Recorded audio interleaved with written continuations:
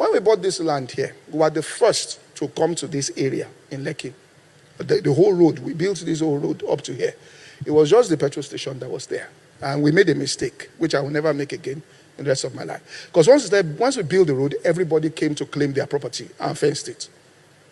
We paid then, many years ago, 21 million per, well, at the end, we paid 170 million for this one, all right, this one where we are, 170 million.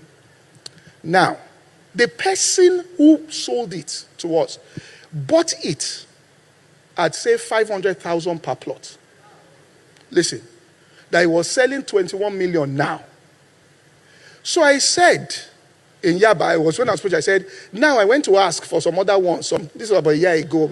All right. By, well, to call long story, by the time we built, everybody started coming. That's when all these estates started coming. I was wondering, why didn't they come before? You know that petrol station there, the problem was during all that fuel something, there used to be a huge hold up. So nobody wanted to come and build their houses here because there was hold. The people said, nobody, ah, if you build house there, there's petrol station, nobody will come. So it's when we came here and opened, people said, build here.